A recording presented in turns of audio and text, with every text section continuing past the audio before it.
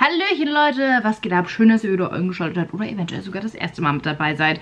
Ich sitze noch an meinem Schminktisch und wie ihr wahrscheinlich schon an der Kameraperspektive und alles sehen könnt, ich drehe heute mal einen Vlog, denn ich drehe heute ein Format, was viele, viele Leute angefragt haben, weil ich hatte ja vor drei Wochen ungefähr ein Video hochgeladen, wo ich erzählt hatte, dass ich aktuell abnehme und damals waren es fast 20 Kilo, da hatte ich es noch nicht erreicht und jetzt sind es mittlerweile 23 Kilo, die runter sind. Also es geht stetig und ständig nach wie vor weiter runter, was mich sehr glücklich macht. Und äh, ja, da haben halt viele gefragt, was esse ich denn genau, ob ich das mal irgendwie in, einem Art, in einer Art What I Eat in a Day zeigen könnte. Und das mache ich heute. Ähm, ja, ich, ich nehme euch einfach den ganzen Tag mit, was ich so esse. Und ich habe noch nicht gefrühstückt und das machen wir jetzt als erstes, weil ich habe mega Hunger und es ist aktuell nämlich schon 11.51 Uhr, es ist gleich 12 und ich bin nachher noch verabredet zum Spazierengehen heute. Zu dem Thema kommen wir auch noch, was mache ich äh, für Sport, während jetzt in diesem zweiten Teil Lockdown, während alles zu hat. Und ich würde einfach sagen, wir legen jetzt direkt los, weil ich habe Hunger.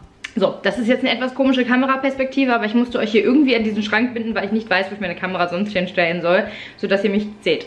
Deswegen müsst ihr jetzt kurz mit der Perspektive leben.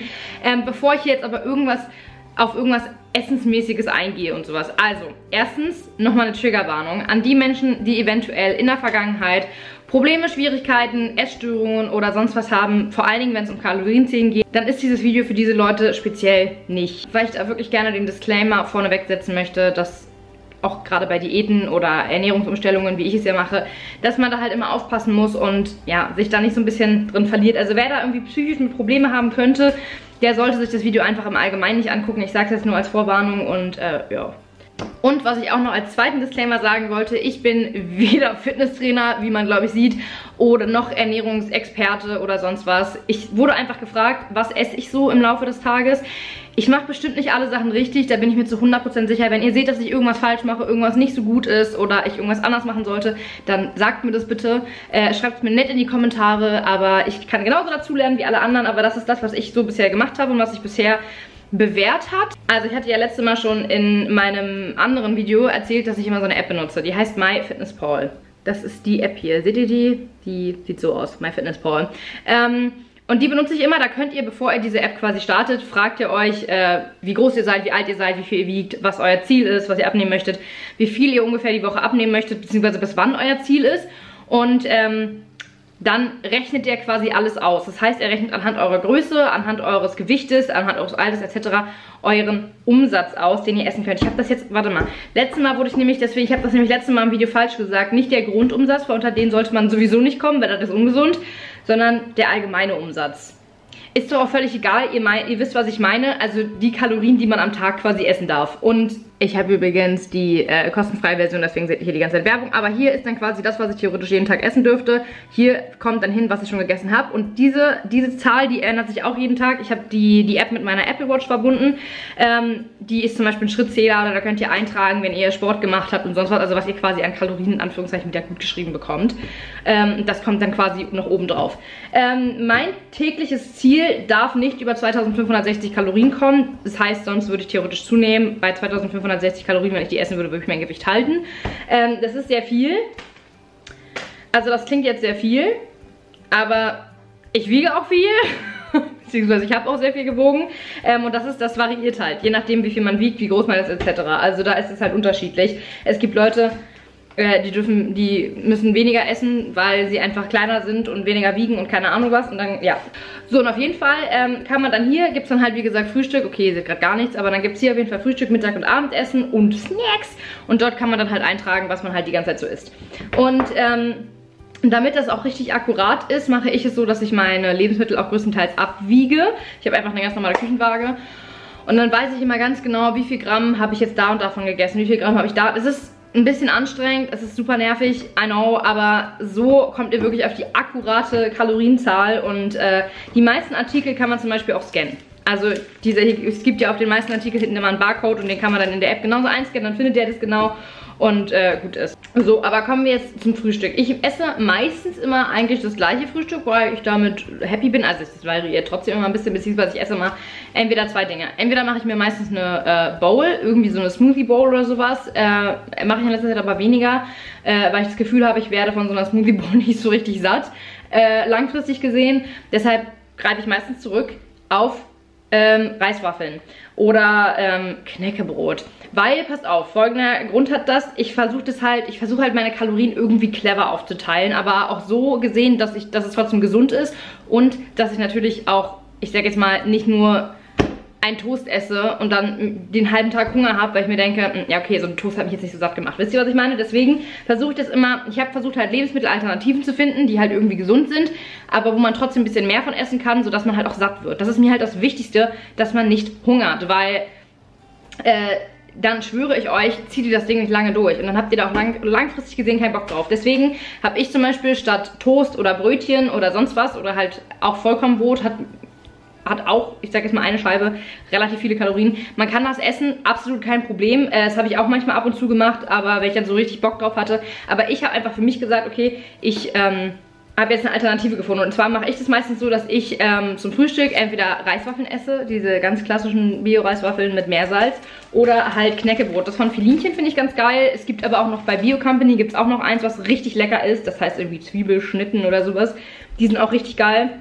Und ich weiß, jetzt kommen so die ersten bestimmt, die denken so, äh, Reiswaffeln, übelst eklig. Aber ich mache mir die halt cool, weil das Ding ist, man kann, ich glaube, sechs Reiswaffeln haben genauso viel Kalorien wie eine Scheibe Toast.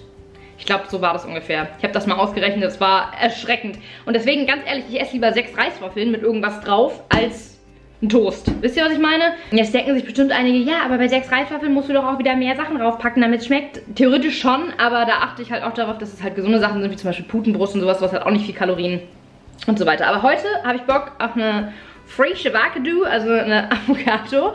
Ähm, die habe ich mir gestern geholt und die ist jetzt auch schon reif. Und ich esse heute zum Frühstück zwei Reiswaffeln. Wie gesagt, normalerweise esse ich auch meistens mehr. Heute reichen mir aber zwei, weil ich davon Avocado esse. Avocado ist super gesund, Er hat an sich theoretisch gesehen viele Kalorien. Ich glaube, eine Avocado liegt so ungefähr bei 250 Kalorien, was schon relativ viel ist, aber man muss dazu sehen, dass Avocado sehr gesunde Fette hat. Also sie ist zwar sehr fett, aber sie hat gesunde Fette. Und man muss ja auch trotz alledem, während man sich Diät macht, wie ich es jetzt mal nenne, oder halt eine Ernährungsumstellung, sollte man trotzdem darauf achten, dass man äh, trotz alledem gesunde Fette zu sich nimmt. Also die sind zum Beispiel in Avocado drin, zum Beispiel Lachs hat auch viele gesunde Fette, etc. Diese ganzen Sachen rauszufinden, was ist gesund, wo sind gute Fette drin, wo sind schlechte Fette drin, etc., das, das lernt man alles irgendwie im Laufe der Zeit, wenn man sich mit, damit wirklich auseinandersetzt. Und die App hilft einem auch super, super gut. Das heißt, wenn ich jetzt, ich scanne jetzt zum Beispiel in dieser App ähm, diese Reiswaffeln, hier ist dieser QR-Code drauf. Scanne die und jetzt sagt er, dass zum Beispiel 1,25, also eine Reiswaffe hat 25 Kalorien. Das ist halt nichts. Also es ist literally Luft, also es schmeckt auch nach Luft. Aber deswegen mache ich mir das drauf. Ähm, ja genau, da gebe ich jetzt hier halt ein, dass ich halt zwei davon gegessen habe, sind, bin ich bei 50 Kalorien. So, dann würde ich jetzt noch dazu packen, dass ich eine Avocado gegessen habe. Und die hat jetzt hier in dem Fall 240 Kalorien und das ist das, was ich meinte. Wenn zum Beispiel, weswegen ihr gut auch über ähm, Nahrungsmittel lernen könnt, ist, dass die App euch auch immer so gute Infos gibt. Weil bei Avocado steht jetzt hier zum Beispiel, dieses Nahrungsmittel enthält viele Ballaststoffe. Wusste ich vorher nicht, ist super. Wieder was gelernt. Und daran erkennt man auch immer wieder so, okay, was ist gesund, was ist nicht gesund. Oder wenn zum Beispiel viel Natrium ist in einem Essen, dann sagt dir die App auch so, Achtung, dein tägliches Natriumziel liegt bei so und so viel Milligramm. Versuch da nicht rüber zu gehen oder solche Sachen. Also hier müsstet ihr das jetzt sehen, dass das hier in grün steht, dass es halt quasi super ist. So, und dazu mache ich mir jetzt immer noch ähm, Körnigen Frischkäse. Den packe ich auch immer noch drauf. Also den packe ich, ich packe erst Körnigen Frischkäse auf die Reiswaffeln und dann mache ich mir die Avocado drauf, salze und pfeffere die noch ein bisschen und dann äh, bin ich happy. Meistens trinke ich dazu noch einen Latte Macchiato. Den trage ich auch ein. Also ist es auch wichtig, dass wenn ihr solche Getränke trinkt, wie zum Beispiel was Milch enthält oder süße Getränke oder so, dass ihr die auch in die App eintragt. Weil dann seid ihr wirklich eigentlich auf der sicheren Seite. Und ähm, ja, seid ihr ziemlich akkurat.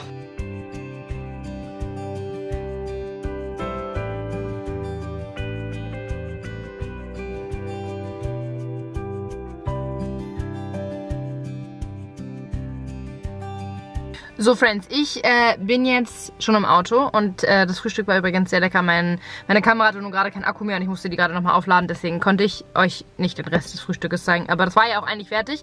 Ähm, ich hatte das in der App auf jeden Fall dann alles zusammengetragen und das lag dann bei wie viel? 384 Kalorien oder sowas. Also echt nicht viel. Ähm, aber durch die Avocado wird man auch eigentlich relativ gut satt. Und jetzt bin ich, wie gesagt, zum Spazierengehen verabredet. Ähm, mit einer Freundin und wir treffen uns äh, am Grunewaldsee. Das ist hier in Berlin so ein relativ bekannter See. Wenn man dort einmal rumläuft, dann ist man bei ungefähr 4 Kilometern. Und 4 Kilometer sind, wie gesagt, ungefähr 10.000 Schritte und man soll ja auch am Tag so mindestens 10.000 Schritte laufen, sagt man. Ähm, und das ist halt immer eine ganz gute Bewegung, wenn ich halt, wie gesagt, keinen Bock auf Homeworkouts habe. Und deswegen mache ich das heute. Ähm, und jetzt hole ich mir erstmal den Hund meiner Eltern ab. Weil mit einem Hund macht das Ganze viel mehr Spaß. Gassi zu gehen, finde ich, oder so spazieren zu gehen. Und dann ist das für den auch super. Und danach hole ich meine Freundin ab und dann fahren wir zu dem See. Mein kleines Schwein. Hallo. Mutter süß. Hallo. So, wir sind jetzt äh, im Grunewaldsee. Und das ist meine Freundin. Hallo. Und wir gehen jetzt Gassi, aber bevor wir Gassi gehen, ähm, stelle ich jetzt erstmal gleich meine Uhr ein. Also ich benutze halt immer die Apple Watch und hier oben stelle ich jetzt einfach zum Beispiel ein, dass ich heute, ah, wo ist es? Ne, Yoga machen wir heute nicht dass ich jetzt ein Outdoor-G-Training mache und der zählt dann automatisch die Schritte und die Kalorien mit und das überträgt sich dann gleichzeitig in die App. Ich zeige euch das dann gleich, wie es ist, wenn wir fertig sind. Guckt mal, wie schön das hier ist. Das ist nicht toll, vor allem heute ist so herrliches Wetter und hier kann man richtig gut spazieren gehen. Boah, das sieht halt echt richtig schön. Das sieht aus wie gemalt gerade in der Kamera. Aber es ist wirklich wunderschön hier. Und dann geht man hier quasi einmal um den ganzen See rum. Bis da hinten. Und dann sind wir da hinten wieder da. So, wir sind jetzt fertig und ähm, wir sind jetzt 4,54 Kilometer gelaufen. Und ja, das waren jetzt ungefähr 300 Kalorien. Und das ist super. So, ich bin jetzt mittlerweile wieder zu Hause und ähm, ich mache mir jetzt gleich was zu essen. Ich war gerade noch einkaufen und habe bei DM ähm, so ein Porridge gefunden. Und ich glaube, den werde ich mir mal morgen früh zum Frühstück machen, weil damit ich nicht jeden Tag... Huch, Salam, meine Uhr dreht gerade durch. Damit ich nicht jeden Tag das gleiche esse ähm, und halt einfach auch mal so ein bisschen Abwechslung drin habe. Ist auch gut für Leute, die zum Beispiel süßes Frühstück eher mögen. Da ist das klasse. Ähm... Und was ich jetzt nämlich mal, immer wenn ich überlege, was ich so esse, dann kann ich euch eine Instagram-Seite super empfehlen. Äh, das ist nämlich eine Instagramerin, die selber gerade abnimmt und die, ähm, ihr Kanal dreht sich nur um Rezepte und der heißt nämlich Kochgenuss. Der ist, glaube ich, noch relativ unbekannt. Also ich finde, sie hat mehr Abonnenten verdient, sage ich euch ganz ehrlich. Weil ich finde, sie macht wirklich, wirklich tolle Rezepte. Ich habe euch jetzt hier mal ihr Instagram so eingeblendet, dass man mal so ein bisschen sieht, was sie so macht. Und ich habe auch schon mehrere Sachen von ihr nachgekocht und sie macht wirklich geile Sachen. Und das Coole ist, sie schreibt die Kalorienzahl immer direkt daneben, damit man ungefähr weiß, okay, ja, das ist heute noch drin oder das eher nicht oder was auch immer. Und äh, ich habe das neulich schon mal von ihr gemacht und ich habe da heute wieder mega Bock drauf. Ich glaube, ich mache heute mal von ihr die Self-Made Flammkuchen. Der Teig, den sie da macht, der ist sogar vegan. Und das ist super, super easy, aber ähm, sie macht den in dem Rezept mit äh, Ziegenkäse und Kürbis. Ich mache den heute aber mit Lachs und grünem Spargel, habe ich mir gedacht. Von ihr hole ich mir immer so ein bisschen die Inspiration. Und jetzt wollte ich nochmal auf das Thema Kalorien allgemein einsteigen.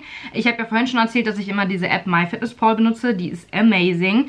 Und dort rechnet ihr, wie gesagt, quasi euren das aus, was ihr am Tag essen dürft, beziehungsweise das rechnet das aus, was ihr am Tag esst, um äh, euer Gewicht zu halten. Und um mir abzunehmen, muss man in ein Kaloriendefizit kommen. Und ich sehe voll oft irgendwie auf Instagram oder auf TikTok vor allem so Videos von Mädels, die abnehmen wollen und dann weniger als 1000 Kalorien am Tag essen. Und ich kann euch direkt sagen, egal was für ein Wert da bei euch rauskommt, weil der ist ja bei jedem unterschiedlich. Also es gibt Leute, die, ich darf zum Beispiel 2500 essen, dann gibt es aber auch welche, die dürfen nur, weiß ich nicht, 1900 essen zum Beispiel und müssen daraus ein Defizit machen. Das ist halt wie gesagt wirklich bei jedem unterschiedlich.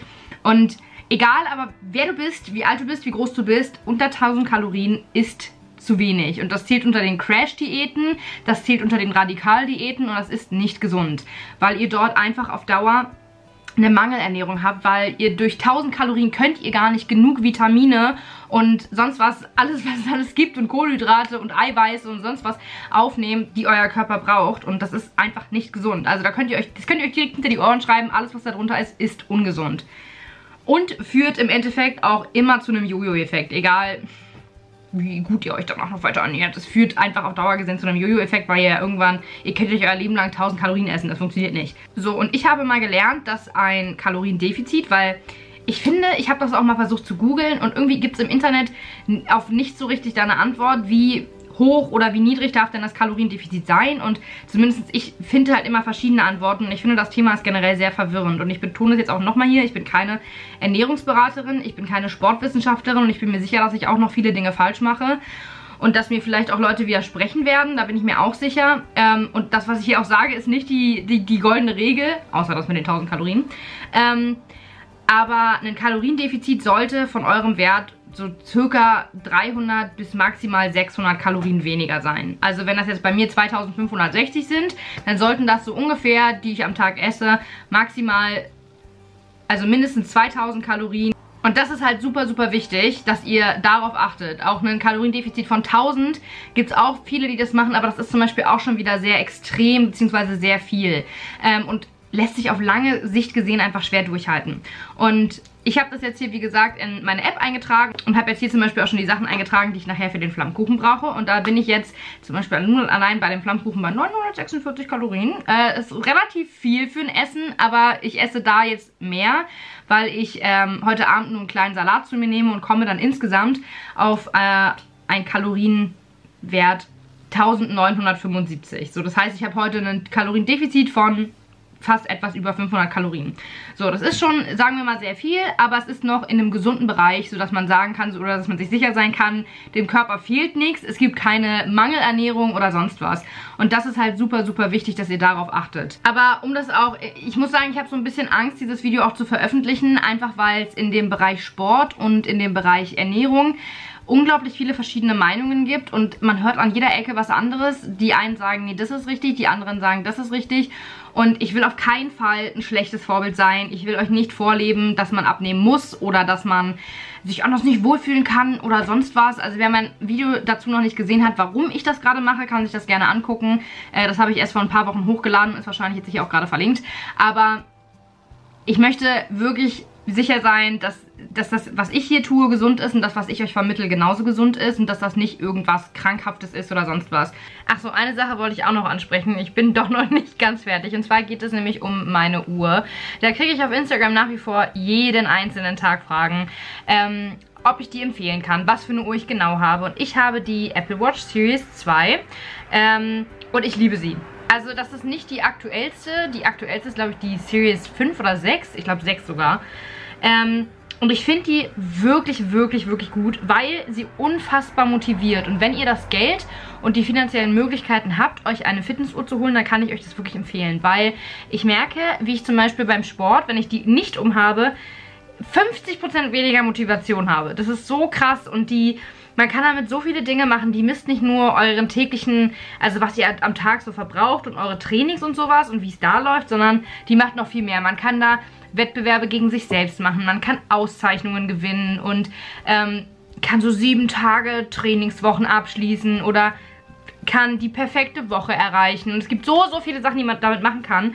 Oder wenn man, ähm, wenn zum Beispiel eine Freundin oder ein Freund von euch auch eine Apple Watch hat, dann kann man die untereinander koppeln und dann kann man sich gegenseitig herausfordern. Oder sieht dann zum Beispiel, wenn ein Freund ein Training abgeschlossen hat. Und dann kann er das auch nochmal motivieren, wenn man halt sieht, oh ja, mein Kumpel hat sich gerade bewegt und ich jetzt heute noch nicht. Das mache ich jetzt auch. Oder keine Ahnung. Also die, ich finde, die Uhr ist wirklich, wirklich cool. Die, ich, die Series 2 ist auch, äh, auch wenn die, wie gesagt, schon ein bisschen älter ist und nicht das aktuellste Modell ist, ist sie trotz alledem wasserfest. Also ich kann mit ihrer Uhr auch schwimmen gehen. Das mache ich auch sehr, sehr oft. Da kann man dann zum Beispiel, wenn ich damit schwimmen gehe, also sie ist wasserfest. Und dann kann ich da zum Beispiel die Bahnlänge einschreiben. Zum Beispiel klassische Bahnlänge ist meistens 25 Meter in einem Schwimmbad und dann misst die Uhr von ganz alleine nach Distanz gemessen die Bahn. Und du musst, ich muss nichts machen und dann habe ich, zählt dir automatisch, wie viele Bahnen ich geschwommen bin, wie viele Kalorien dabei verbrannt wurden, misst mein Puls die ganze Zeit. Also es gibt wirklich richtig viele coole Sachen. Es gibt sogar eine Walkie-Talkie-Funktion, wo ich mit einer Freundin zum Beispiel über so eine Art Walkie-Talkie in der Uhr reden kann. Und ich liebe halt die Apple Watch. Ich finde die mega, mega gut, weil ich kann sie mit meinem iPhone koppeln und finde die richtig nice. Also die kann ich euch wirklich, wirklich empfehlen. Und das wollte ich nochmal zum Thema Fitnessuhren sagen, weil das, wie gesagt, auch immer so ein Thema ist, wo ich viel nachgefragt werde, welche Uhr ich denn habe. So, aber starten wir mit dem äh, Flammkuchen. Ich habe mir jetzt hier einfach so eine Schüssel auf eine Waage gestellt und jetzt brauche ich erstmal 120 Gramm Mehl und messe das halt tatsächlich alles sehr genau ab, wie ich schon gesagt hatte vorhin. Ha, 120, genauer geht's nicht. So, jetzt hatte ich gesagt, dass wir Öl brauchen. Und dann nehmen wir auch 10 Milliliter ungefähr. Und jetzt brauchen wir noch 60 Milliliter Wasser, aber okay, die, das hat auch irgendwie gar keine Kalorien, deswegen ist es auch egal. So, und das Ganze wird jetzt tatsächlich vermischt. Ich vermische das immer mit einem äh, Löffel. Achso, und super, super wichtig ist, dass ihr das Ganze natürlich noch salzt. Äh, das habe ich nämlich tatsächlich letztes Mal vergessen, äh, Salz reinzugeben. Der Teig hat absolut nach gar nichts geschmeckt. So, ich mache das immer so, dass ich mir den Teig quasi auseinanderziehe. So, als nächstes kommt Creme fraiche drauf und das verteile ich einfach auf dem Flammkuchen. Wie ihr seht, ähm, ja, wenn man ein Nudelholz hat, ist das bestimmt das Ganze bestimmt noch ein bisschen besser. Ich besitze sowas aber nicht. Deswegen muss das auch so reichen. So, als nächstes mache ich den Lachs oben drauf.